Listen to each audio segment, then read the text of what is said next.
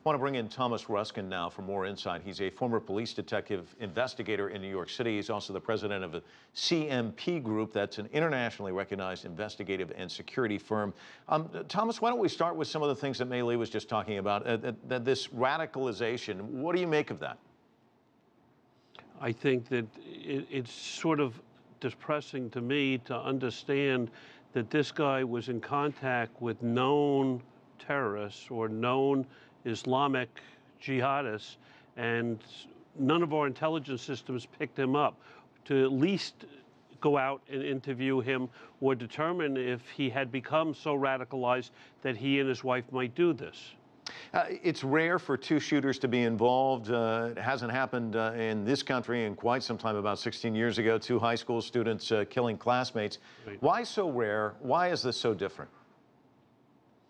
Well, I'd like to believe it's so rare because law enforcement's on top of it. Now, law enforcement around this country has broken up numerous plots.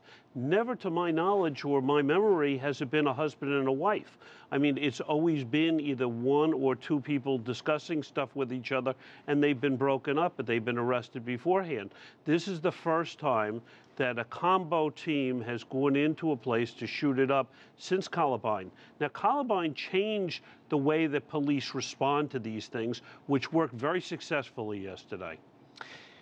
Uh, when they searched the couple's home, uh, we're getting uh, information now: a dozen pipe bombs, 2,009 millimeter handgun rounds, 2,500 223 caliber assault rifle rounds, hundreds of tools that could have been used to make additional explosive devices. To me, it seems like there's a lot of red flags there.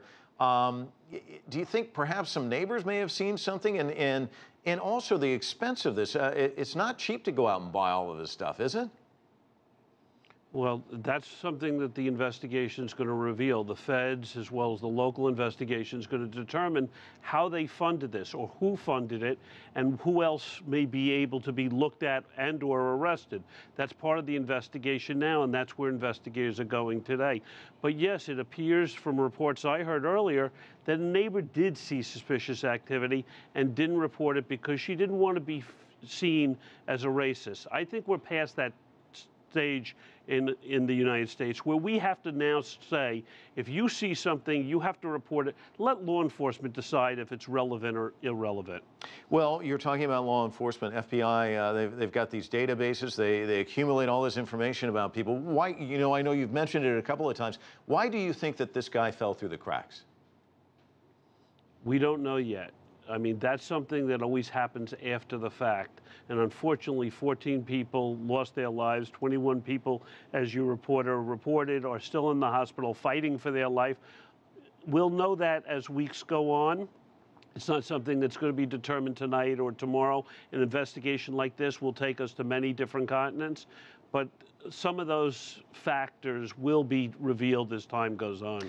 Thomas, getting back to this arsenal, do you think that they had designs on perhaps another attack after this one?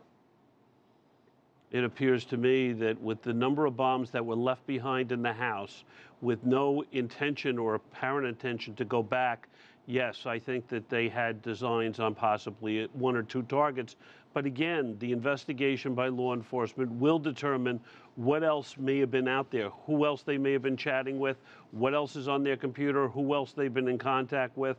That's what the investigation will now reveal and possibly lead to more arrests. And as a former police detective investigator, what are, what are they doing right now? I mean, it, because it, initially it looked like this might be one of these things where this guy was unhappy and his, was a workforce violence. So they, there seemed like there was a disagreement. Do you think that was a ruse to kind of cover this? I mean, it's all very fascinating, very much a puzzle, isn't it? Mm-hmm. It, it, that portion is a puzzle, but that's less relevant to me as a former investigator. What's what's important to me is where he became radicalized. Did his wife radicalize him because apparently he, she's from overseas and here on a visa based on her marriage to him?